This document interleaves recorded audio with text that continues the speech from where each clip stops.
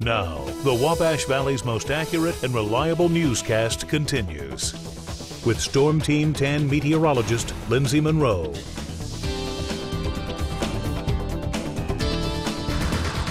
Good morning, everyone. Skies are mainly clear for us this morning, and of course, you know what that means. Cooler temperatures. They have certainly arrived throughout the valley, and it is a very chilly start to our day. We are just near 34 here in Terre Haute. The winds are calm, again, skies are clear. We have the humidity up to right around 88%. All good indicators that we could see that frost developing. I certainly had frost on my windshield this morning. Just take that extra time to head out to your vehicle and perhaps allow that time to uh, get that frost off your windshield so you have a safe safe morning commute and just let your car warm up because it's a cold start to the day.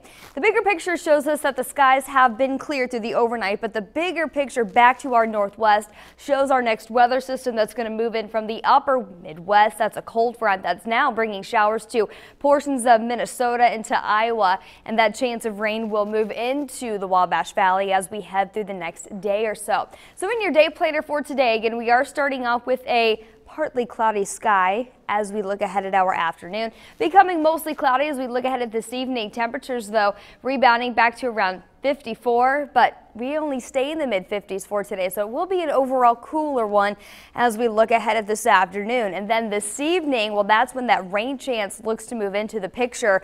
Looking for a chance of a few scattered showers around 7 p.m., lasting through 10 p.m. The skies become cloudy and temperatures fall back through the 50s, so overall, not necessarily the most pleasant of evenings, but tonight, I'll let you know this, it is going to be better than tomorrow night while we're tracking on Halloween evening is actually looking to be pretty uncomfortable, pretty spooky with some howling winds at that.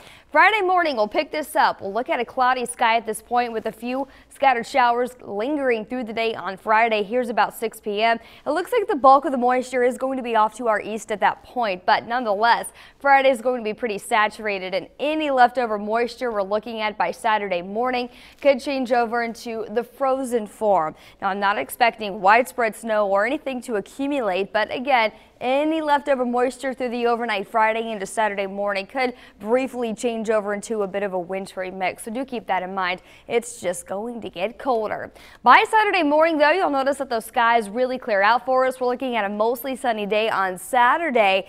Just really cool. Temperatures only look to rebound into the mid 40s and going to the rest of the weekend. Saturday, even into Sunday, is going to show us that the skies stay mainly clear.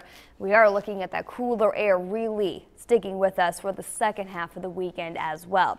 So for today, looking for areas of frost this morning with increasing cloud cover this afternoon. That's in advance of that next weather system set to bring in a few scattered showers by this evening. Temperatures only reach near 55. Through the evening and overnight tonight, looking at that chance for a few isolated rain showers. If you're headed out for trick-or-treating this evening, just keep that in mind. Make sure to have that umbrella ready to go as we fall back near 39 through the overnight.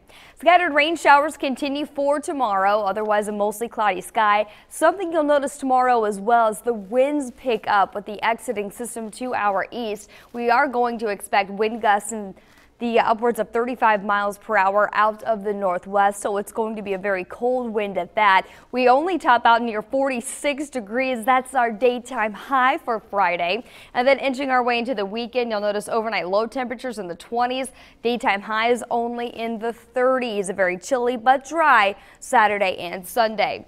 Looking ahead to next week, we start to warm things back up by Monday, a high near 60 with partly cloudy skies. And then yet again, another weather system will bring showers back into the picture next Tuesday and Wednesday.